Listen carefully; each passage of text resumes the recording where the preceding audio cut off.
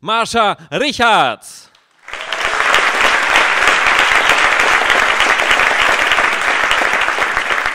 Na, ihr Schnuckis.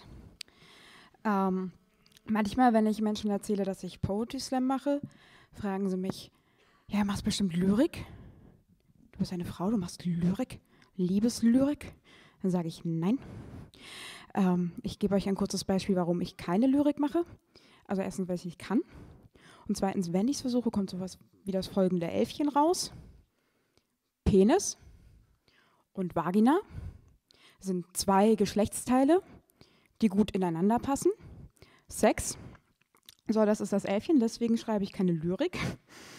Ähm, also keine Liebeslyrik, sondern ich schreibe Hassprosa.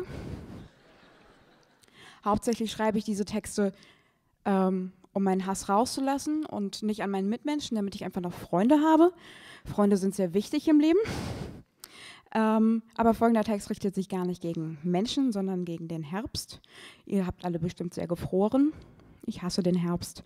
Deswegen, dieser Text ist für alle, die den Herbst so schön finden, aber schon Mitte September die Heizung anmachen, weil es plötzlich so kalt ist. Oh, der Herbst ist so schön mit seinen bunten Blättern und alles verändert sich. Ja, alles verändert sich, alles stirbt langsam ab und wird kahl. Der Herbst will sein kahl werden, nur mit den schönen bunten Blättern übertünchen. Wie alte Männer, denen die Haare ausfallen und die deswegen Haarimplantate, bunte Sakkos und zu enge Jeans tragen, damit das nicht so auffällt. Der Herbst ist ein lächerlicher alter Mann, der sich Botox spritzen lässt und Make-up trägt, der aber trotzdem langsam vor sich hin siecht und irgendwann stirbt. Und das in aller Öffentlichkeit. Der Herbst ist Wolfgang Job. Ja, aber der Herbst ist doch voll schön, wenn die Sonne scheint. Goldener Herbst und so.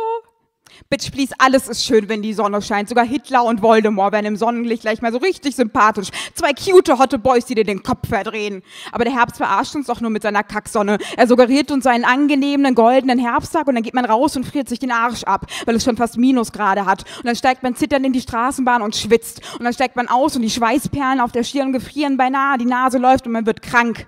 Aber nein, nicht so richtig krank, nur so halb, weil der Herbst ein unentschlossenes Arschloch ist, wie dieser eine Typ, der sich einfach nicht zwischen dir und deiner Schwester entscheiden kann. Man wird gerade so krank, dass die Nase bis Weihnachten durchgehend läuft, aber nicht krank genug, um nicht in die Uni gehen zu können. Und wenn die Sonne nicht scheint, ist es kalt und grau und feucht, als würden eine Million Dementoren draußen rumschweben. An dieser Stelle wollte ich eigentlich feuchter als seine Mutter, wenn sie die Wahlplakate von Christian Lindner sieht, sagen. Aber dann hätte ich sie als FDP-Wählerin beschimpfen, das geht ein bisschen zu weit. Während man sich jetzt jahrelang gegen die mütterlichen Weisheiten gewehrt hat, stopft man sich das Top in die Hose, damit die Nieren schön warm bleiben und hört Mutter irgendwo leise hämisch und triumphierend lachen. Damit man keine Halsschmerzen bekommt, muss man sich einen Schal anziehen, obwohl man ohne eigentlich schon genug am Hals hat. Und solange es kein Butterbier zum Aufwärmen gibt, kann ich den Herbst eh nicht ernst nehmen. Ja, aber dann gibt's bei Starbucks endlich wieder den Pumpkin Spice Latte. Und den gibt's echt nur im Herbst. Ich habe noch nie einen Pumpkin Spice Latte getrunken und führe trotzdem ein glückliches Leben, ihr Pisser. In meinen Kaffee gehört kein Kürbis, in meinen Kaffee gehört Kaffee mit Kaffee. Und dann ist da noch Halloween. Wenn ich Zombies sehen möchte, gucke ich mir The Walking Dead an oder stelle mich morgens vor die kleine Kneipe und schaue mir die Gestalten an, die da rauswanken. Da brauche ich keinen amerikanischen Feiertag für. Seit meinem ersten Taschengeld kann ich mir meine Süßigkeit noch ganz alleine kaufen. Ha!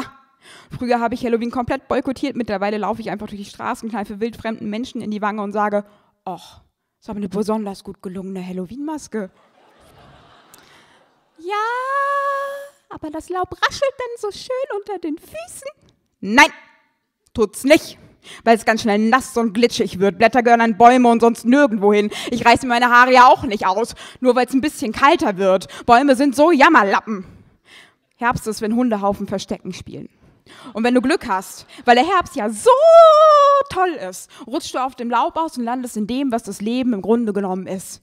Scheiße. Aber hey, endlich haben einfallslose Journalisten wieder ein Thema, über das sie schreiben können. 13 Tipps gegen die Herbstdepression. Ich habe keine Herbstdepression, ich finde den Herbst halt einfach scheiße und unnötig und akzeptiere ihn nicht als Jahreszeit. Der Herbst ist ein Unfall der Natur, wie Christian Lindner. Also Außerdem irren im Herbst immer orientierungslose Erstsemester durch die Stadt, die direkt vor der Uni stehen und mich dann fragen, wo denn die Mensa sei. Immer dem Pommesfettgeruch nach möchte ich schreien, doch dann setze ich sie doch in eine beliebige Straßenbahn und sage, noch sechs Stationen fahren, dann müsstet ihr sie eigentlich sehen.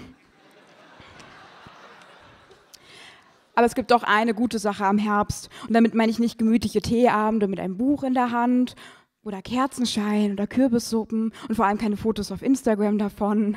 Das Beste am Herbst ist, dass tausende Wespen und Fruchtfliegen einen grausamen Kältetod sterben. Und wenn ich diesen Text in meiner kalten Küche geschrieben habe, aß ich zitternd Eis. Dann fick dich das System, dann ficke es zurück. Dankeschön.